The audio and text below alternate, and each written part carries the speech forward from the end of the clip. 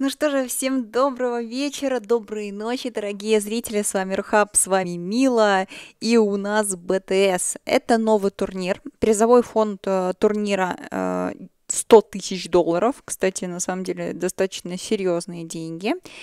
И начнем мы сегодня, сегодня вас, кстати, ждет целых две батареи серии. Начнем мы с Arkosh Gaming против Simply to Based. Северная Америка, по которой лично я очень соскучилась. Буду рада посмотреть за коллективами, потому что Южная уже немножко поднадоела, так что я очень рада такому перерыву, смене. Комментировать для вас э, этот турнир Вначале все кастеры будут соло, как и я. Сегодня буду я, завтра, если не ошибаюсь, будет соло комментировать для вас инмейт. Про команды ну, на самом деле, ребята, я э, этих игроков, я думаю, что многие из вас должны знать. То есть Фли и Рио вообще очень известные ребята. В принципе, плюс-минус э, коллективы известные. Особенно если вы следите за, как я уже говорила, Северной Америкой и Южной Америкой. А, драфты, ну, мне лично тоже будет очень э, интересно понаблюдать, потому что, потому что драфты у каждого региона и даже у Северной и Южной Америки, они существенно отличаются. И уже вот можно сказать было бы, что вот-вот, посмотрите, а, какое отличие от СНГ, но на самом деле не то чтобы сильно. Конечно же, у каждой команды есть какие-то сигнатурки. Здесь мы видим Вивера и Брюмастера, ну, Вивер слишком хорош, чтобы его не пикать. Это герой э, ФП пик, э, который и в Южной Америке, и в СНГ мы видим его просто постоянно. Ну и понятное дело, что против него нужно и большое количество контроля, особенно когда игра уходит в лейт и с каким-то сильным кором под сейф шикарный. Брюмастер, сразу же ответочка Silence от э, Пака будет у нас, но Брюмастер тоже достаточно крутой герой, как э, мне кажется, то есть обратите внимание, уже Orkash Gaming такой драфт, попробуй убить Вивера, который такой мобильный и с таймлапсом, и попробуй убить брюмастера. И, знаете, с брюмастером всегда такая история, когда ты вот просто, кажется, все в него дал, и ты должен его забирать, но он успевает разложиться, и вот эти пандарята преследуют тебя и мешают жить. Герой действительно очень неприятный. Disruptor. Disruptor, ну, отличный саппорт, особенно на стадии laning а. Пятая позиция. Здесь у нас уже открытые определенные позиции, то есть пятерка Disruptor, Weaver четверка, Brewmaster третья позиция. Disruptor, который может накрывать Puck а, Disruptor, который, в принципе, неприятен еще против разных мобильных персонажей, ну и очень силен в рамках э, laning стадии, особенно со своим вот первой своей способностью э, Thunder Strike наносит урона больше всех способностей в игре, вот именно на первом уровне. Наверное, про это все говорят комментаторы, но э, тем не менее, тем не менее, э, скажем так, э, это нужно озвучивать, потому что сразу понимаем, что с дисраптором многие линии выигрываются, потому что герой наносит очень много урона. Uh, давайте теперь по пику Simply to Based и Tidehunter Snapfire Pack. Ну, во-первых, уже очень удобно. Snapfire любит uh, таких героев, которые дают uh, контроль. Конечно, с Void, Void, Enigma, наверное, какие-то приоритетные персонажи, но Марс и Пак отличные связки, с которыми Snapfire заходит также очень неплохо. Так, то есть у нас хороший контроль за счет Тайтхантера, Snapfire, то есть магического дэмэджа очень-очень много, плюс пак все это дело накрывает, и Аркаш Гейминг отвечает Night Stalker. И вот теперь становится действительно интересно, потому что куда же они его поставят? Это, скорее всего, будет э, Night Stalker. Вот, кстати, на самом-то деле я еще не до конца поняла, может, они реально захотят его отправить в мид, например, а может это будет вивер на первой позиции. Ну, вообще вариантов, честно говоря, много.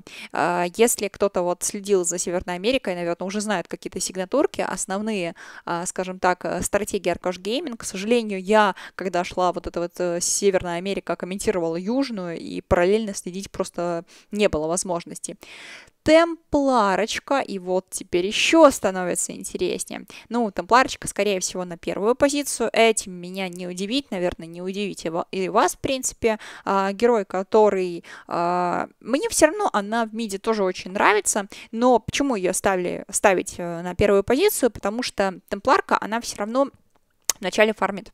И не хватает зачастую с темпларкой героя, который поможет по боковым линиям, соответственно, темпларка смещается вот э, на первую позицию, просто стоит и фармит, и притом фармит она достаточно быстро, и в итоге ты получаешь и мидера активного, и героя, который наносит э, физический дэмэдж с руки, поэтому урона очень много, плюс у тебя здесь, мы видим, уже будет сочетание в дальнейшем неплохое по минус армору, то есть это Тайтхантер со своим гашем и темпларка со своим дизолятором, ну и удар с молота, конечно же забанили Нагу, забанили ТБ. Это, в принципе, неудивительно. Я бы даже, на самом деле, а, не удивилась, если бы еще фондом Лансера как-то умудрились в эти баны засунуть, так как а, Темпларка больше всего не любит всяких вот как раз иллюзионистов. И вот ТБ и Нага для нее крайне неприятные.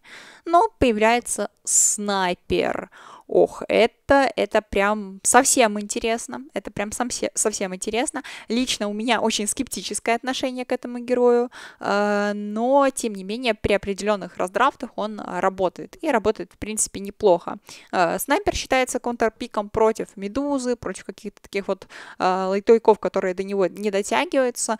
Но скорость его фарма, в принципе, не настолько даже высокая, как у Темпларки, особенно в начале, да. То есть он не настолько быстро может зафармить те самых эншенты. Мне, например, очень э, нравится, когда у снайпера есть э, кто-то, кто может его подбафать, чтобы вот эту скорость фарма как-то ему дать, чтобы у него э, шмотки, вещи хорошие появлялись как можно быстрее, и тогда действительно он опасен. Но, как я уже говорила, я к нему до сих пор отношусь скептически. Напишите вот, как вы к нему относитесь, как у вас winrate со снайпера, может кто-то знает на него какие-то крутые сборки и так далее. Сейчас будет последний пик от э, simply TOOBASED, ну а я в это время озвучу вам э, коэффициенты от э, нашего партнера Winline, если я их найду, если они появились, одну секундочку, вообще были же до игры, хм, странно.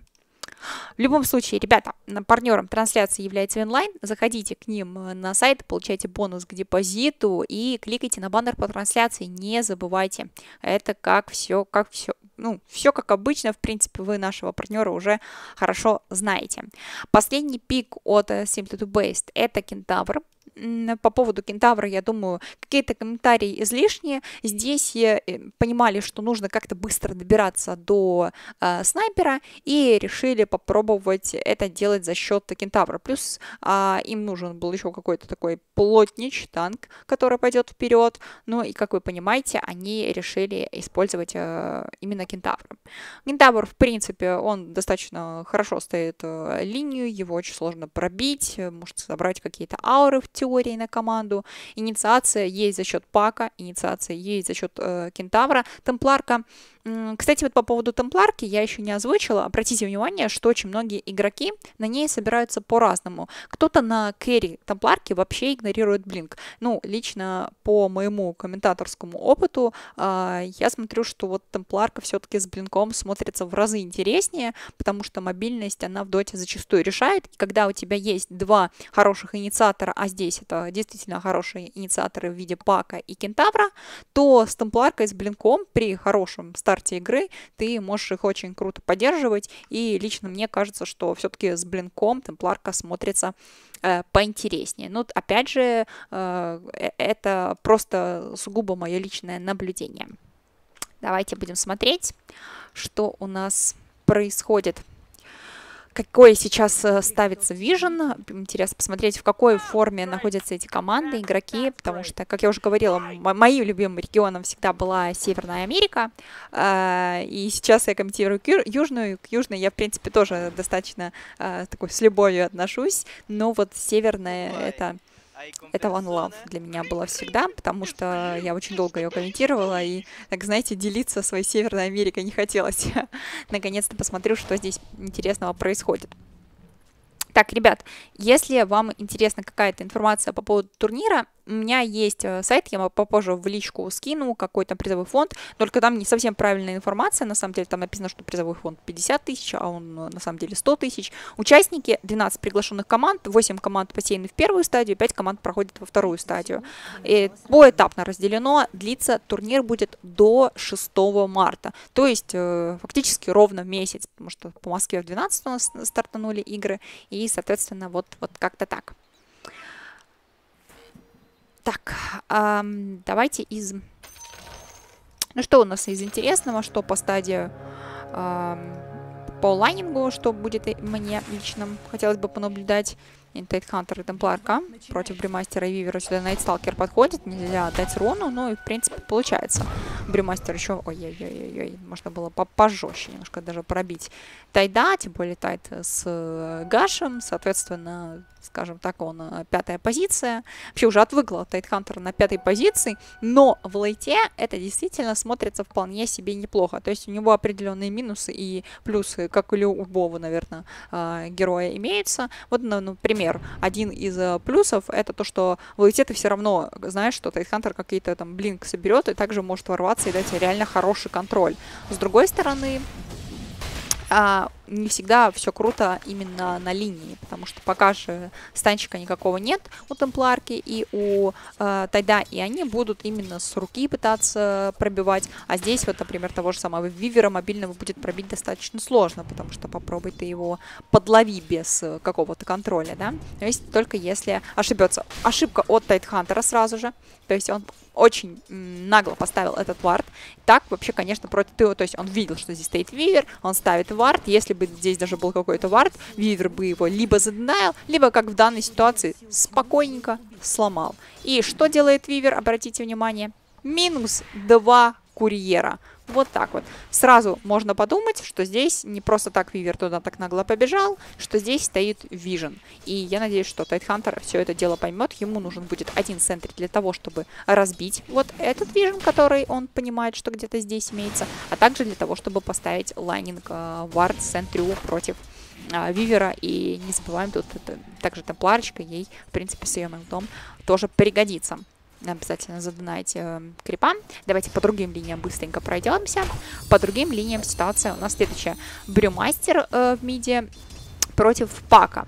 Ну, вообще у Брюмастера пока очень хороший крипстат прям очень хорошие, то есть 10-1, э, пак отстает, ну, пака тут еще, скажем так, пачка большая идет, поэтому он еще может э, реабилитироваться по крипам, то есть у него будет абсолютно такой же э, крипстат, как у его визави, но, тем не менее, можно отметить, что Брю пока стоит очень уверенно. Теперь э, ботл у него есть, ботл он себе наполнил, тем же самым занимался пак, к этой линии мы вернемся чуть-чуть попозже, а пока посмотрим, что у нас у снайпера, потому что это нас действительно интересует. Снайпер — это герой, которого очень легко убивать э, на линии, так как у него нет никаких эскейпов, дизраптов в принципе тоже. То есть если каким-то чудом получится у, допустим, Фли дать печеньку по кентавру так, что кого-то застанет, то очевидно, что спастись будет достаточно сложно. Поэтому дизраптору и снайперу самое главное держать грамотную позиционку, не подпускать к себе на рейндж печеньки. Так, я смотрю, э, нас Вивер еще раз убивает двух курьеров. Но это просто какой-то... Вы понимаете, что у нас четвертая минута игры, и Кроу на своем вивере убил четыре курьера. Четыре курьера. Это это очень много золота. Это просто огромное количество золота для саппорта, который купит себе больше, там, не знаю, центричков, вижена, сапог быстрее купит на дизрапторе. Казалось бы, мелочь, но на самом деле это вообще не мелочь, потому что э, чем быстрее у тебя там, там тот же самый сапог появится на дизрапторе, тем больше ты можешь, не знаю, выживать, догонять, своим глимсом возвращать. Вариантов, как вы понимаете, достаточно много.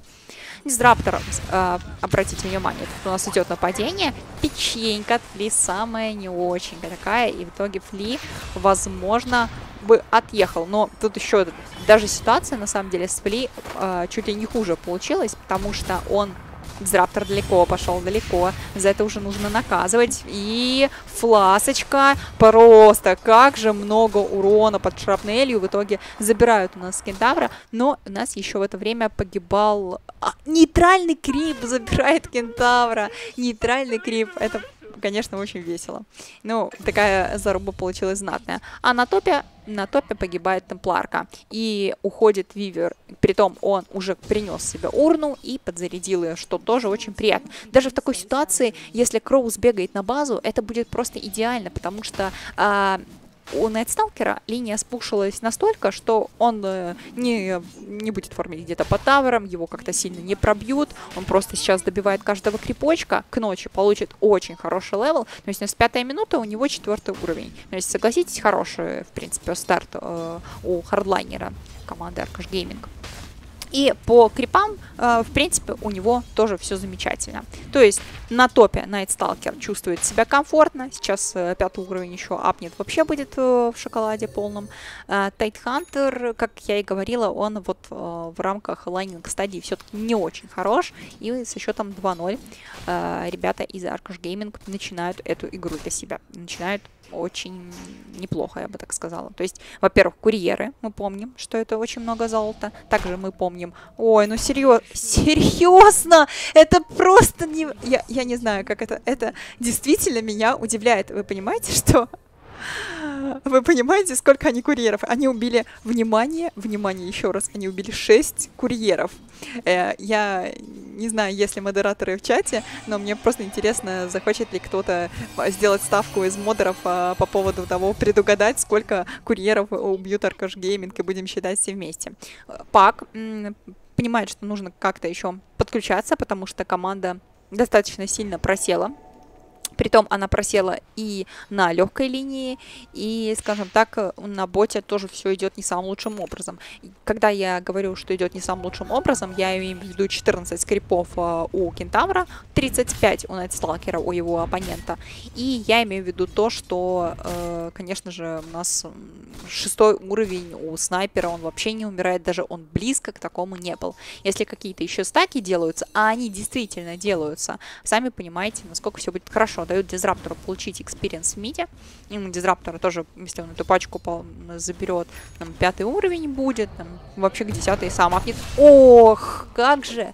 Насколько просто обидно. Это уже вторая смерть для Темпларки. И здесь у нас шестого уровня Найтсталкер, который нагло бежит под Тавер за э, Тайтхантером. И никаких телепортов никто не делает. Тайтхантера просто забирают. Здесь еще и Вивер такой урну подзарядил свою. Ну и, как вы понимаете, просто смотрим на Нетворс Найтсталкера. 3 500. Вот хардлайнер одной команды и вот хардлайнер другой команды. Конечно же, Тут даже шестого нет, здесь практически соло фраг, шесть с половиной прилетает э, пак, ну, пак э, с хостой, поэтому подловить его будет, конечно, сложновато. Сюда перетягивается брюмастер, у него имеется ультимейт, но вот, скажем так, использовать его пока здесь нужды особо нет, а он его использует для того, чтобы просто забрать тавер. я поняла. Так, нападение на пака. Пака глимсует. Ну, глимс э, на самом деле вещь неприятная против этого героя. И сами понимаете, что Пак добегался. Рёя здесь ошибается. Ошибается настолько, что отдает фраг. Почему это была ошибка со стороны Пака? Ошибка не умереть. Ошибка умереть одному, прийти на топ, попытаться дефать тавер, которую э, пытаются забрать 4 героя. То есть э, ты на haste чувствуешь себя неуязвимым. Disruptor тебе говорит, что не все так просто, друг мой. Вот тот самый уровень, который он апнул, да, то есть у него сейчас шестой будет. Подловить Puck а еще будет э, проще на ultimate. И три core -героя занимают три первых строчки по networth ам. И просто пока очень очень э, грамотно действует по карте Arkosh Gaming, я бы сказала, а, такая академичная дота с их стороны.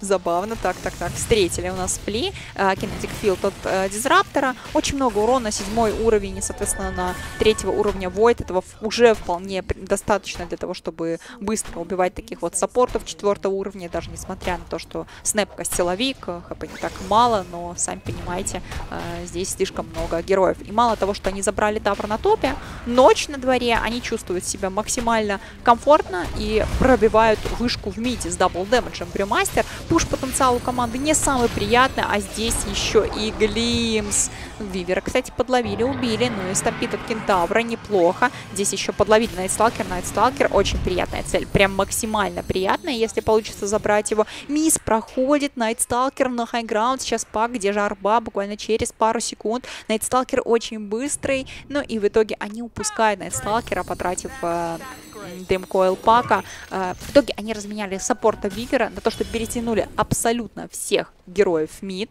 То есть Темпларка также была перетянута в мид.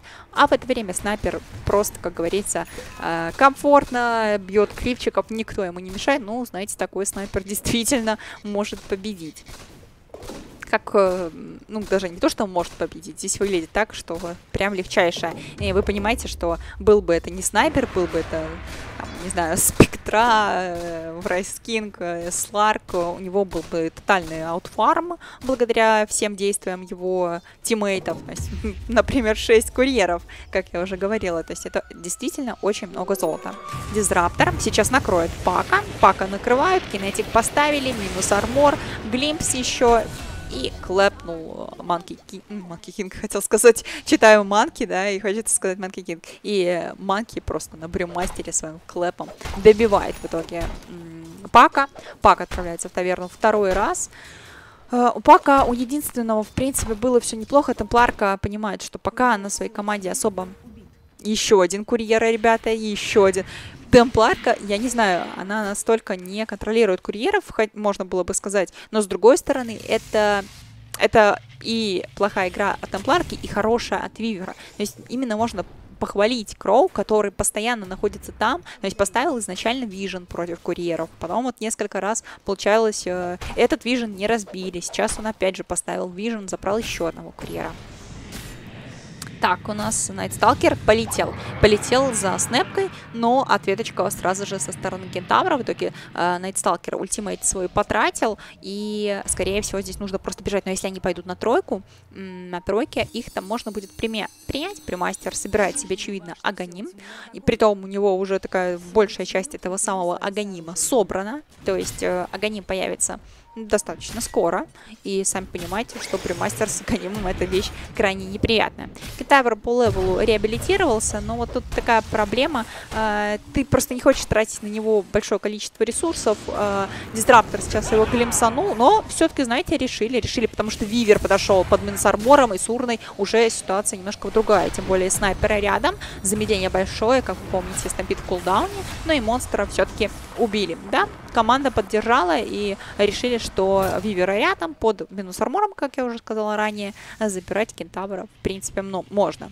У него, кстати, еще не было худа, то есть у него только Vanguard. Это все равно очень плотный кентавр, но э, никто на сейф этого кентавра не прилетел. Там, допустим, Snapfire, казалось бы, могла своим ультимейтом попытаться помочь, но пока э, ребята из Simple to Base предпочитают э, фармить. Я хотела сказать, предпочитают не фармить, потому что темпларочка вот стоит вот уже несколько секунд и боится куда-то идти. Она понимает, что сейчас э, карта в руках у ее оппонентов, и при том очень уверенно в руках ее оппонентов. То есть мы понимаем, что э, пока нет ни одного героя, на которого ты как-то можешь понадеяться. То есть темпларка, она фармит быстро, но вот Вивер, вот что ты на темпларке можешь сделать э, саппорту на Вивере, да?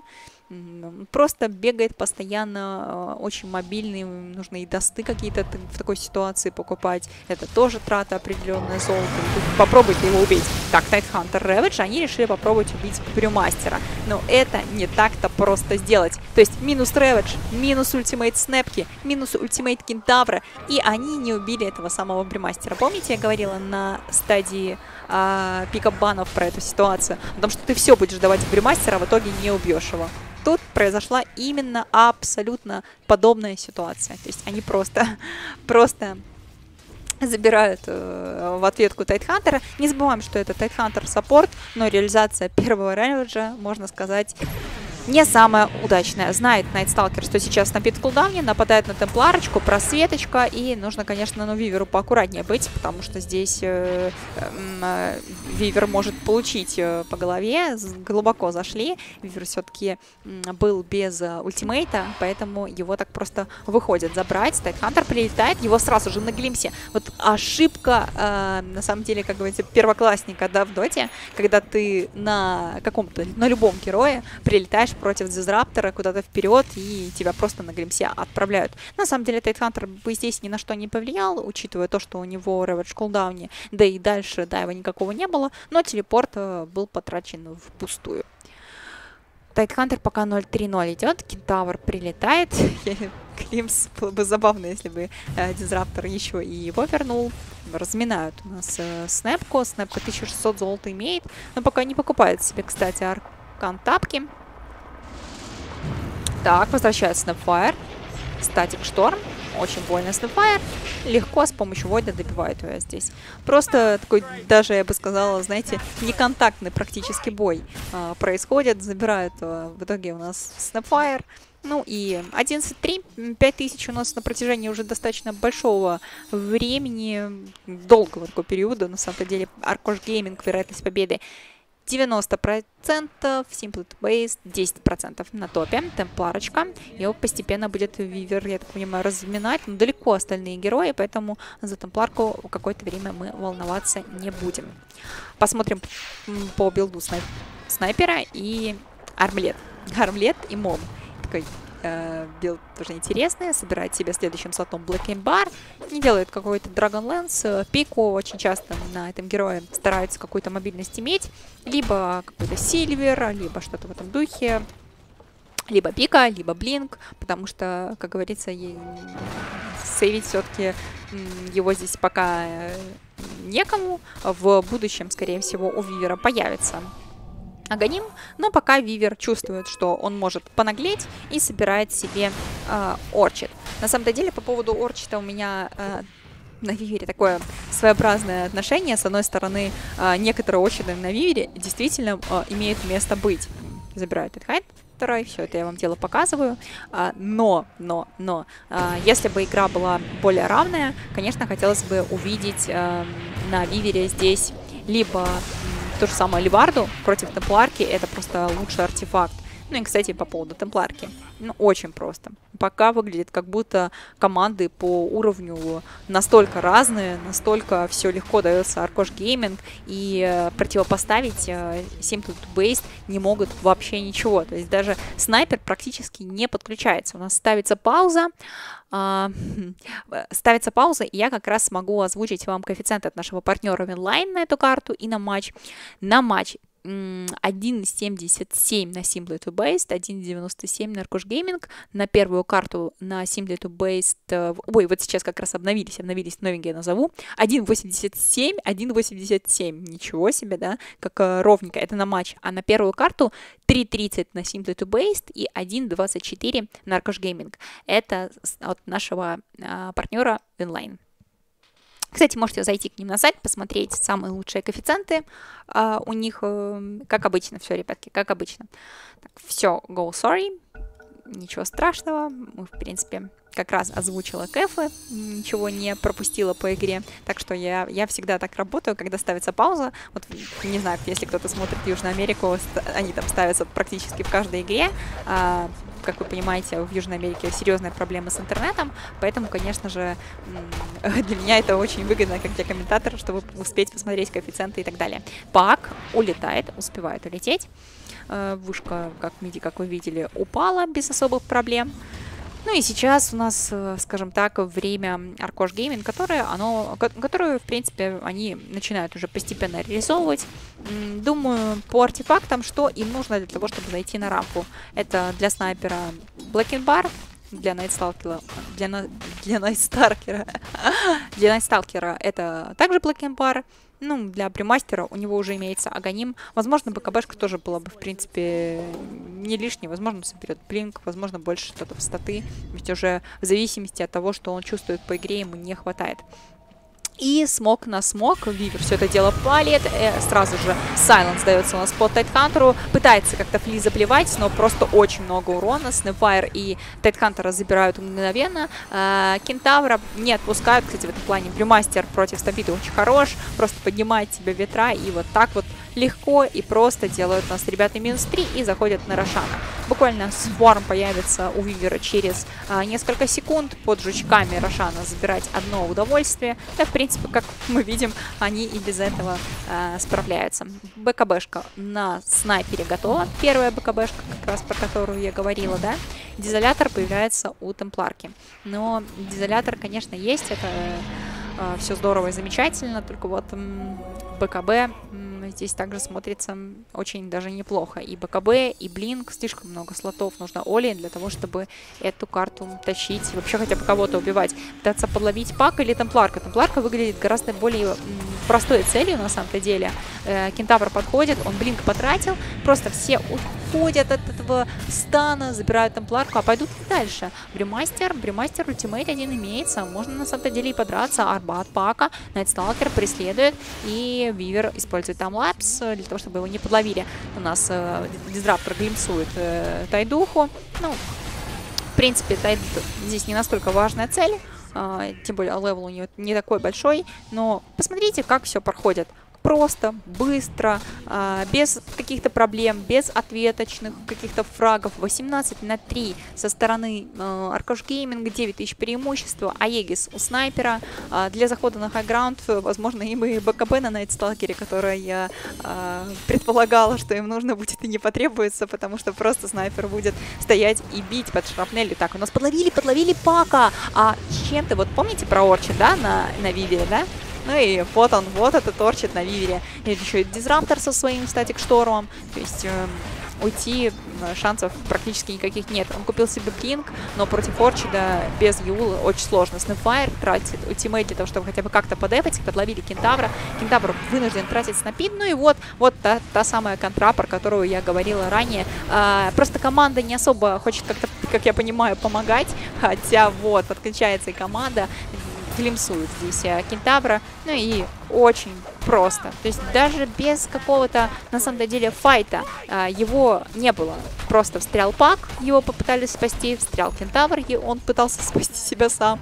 Ну и, как вы видите, сторона падает на 21 минуте. Я удивлена таким коэффициентом. Слишком, слишком просто от Arkosh Gaming, как будто команды по Disruptor. Э, ладно. Ладно. Дебларка дофармивает себе э, БКБ. Ну, я так предполагаю, это должно быть БКБ. Тут и Блинк надо, и БКБ надо, и первым пытаться убивать э, Вивер. Тут вообще очень сложно что-то сделать. Опять же, Сайленс по паку. Так, отлично. Брюмастер свой фивер раскидал. У него, я напоминаю, имеется ультимейт. Вот сейчас, возможно, Брюмастера получится забрать. И действительно это получается сделать. Рэвидж от Тайтхантера был похоронным для Брюмастера. Ну, а вот Снэпфайр пошла слишком далеко. Снайпер настреливает. И Найтсталкер полетел. Пак получает Сайленс БКБ. Блинка аут. Тайтхантер минус. И Темпларка. Темпларка, да, сбивают ей Глимсом, конечно же, телепорт. Темпларка пытается драться до конца, но конец ее будет очень быстро в данной ситуации. По боту, на самом-то деле, я думаю, что было бы выгодно пройти. Здесь стоит Т1, здесь стоит Т2, который ты можешь забрать. Три героя в таверне. В трон пока, наверное, все-таки рановато. Ну или если они уже хотят заходить на вторую сторону, то выгодно было бы пойти по топу, так как здесь всего один тавер нужно снести. Вот эти глубокие варды со стороны Тубест, я обычно хвалю какой-то глубокий вижен, но на самом-то деле здесь он абсолютно не нужен, как бы это ни звучало. Здесь хотелось бы иметь хотя бы какой-то контроль своего леса, своей тройки, а его нет. То у тебя стоит вижен в, э, вообще между вот Т1 э, и Т2 на топе, где ты даже близко не оказываешься. Так, ой, верно, нападение у нас было на Снэпфайр, Глимс, и глимсует у нас Пака. Но Пак доджит все это дело. Кентавр запрыгивает на Вивера. Снэпфайр печенька по Кентавру. Тавр медленно, но уверенно падает. Ну и, как вы понимаете, все заканчивается тем, что замеса-то никакого не было. Просто, опять же, нападение. В этот раз uh, Simply to Base чуть больше повезло. Используется смог. Рэвиджа Тайтхантера отсутствует. Как же дефать без Рэвиджа? Брюмастер уже потрубил свой ультимейт. Это выход в спину со смоков. Да, хорошо, попробуем. Э, Темпларка должна попытаться именно напасть на снайпера. Но у снайпера 30 секунд Аегис. Так, Дизраптора получается забрать. Дизраптора имеется байбек. Настреливает по Кентавру. Кентавр уже должен погибать. Ну и тут Вивер в зоне Тайда. Э, здесь пытается с э, Фли разобраться на снэпке, используется глиф. Оли пойдет ли как-то попытается ворваться, но без блинка, как вы понимаете, это сделать достаточно сложно.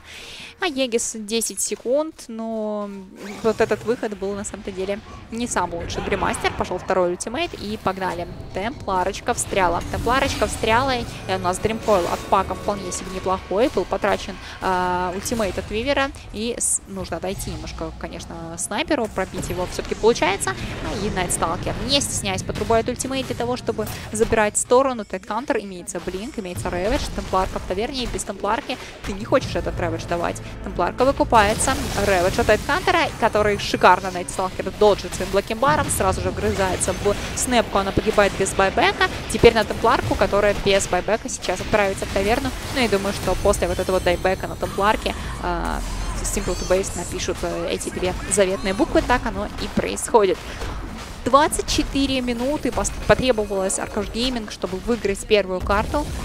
Можно сказать, что эта первая карта выглядела максимально уверенно с их стороны. Они очень грамотно перемещались по карте, они грамотные цели выбирали, они, в принципе, смотрелись, наверное, э, и по драфту чуть-чуть сильнее, как раз именно по линии ну, попытался вначале как-то помочь своей команде, но этого было недостаточно. Конечно, самая большая разница, она была между Найтсталкером и Кентавром, потому что вот э, то, как э, уничтожили Кентавра на линии, и то, как ничего не сделали Найтсталкеру, только нафидели его, это, конечно, было прям самой большой разницей, которая в итоге и сказалась. То есть, что там Бремастер с Паком плюс-минус наравне э, стояли. А, то есть, можно про Мита ничего не говорить, учитывая, что Пак, э, в целом мид стоит очень даже неплохо, не так много героев э, в миде, которые сейчас пака прям могут выгнать и так далее. На этом у нас будет небольшая музыкальная пауза. Я вернусь к вам буквально через несколько минут. Не переключайтесь.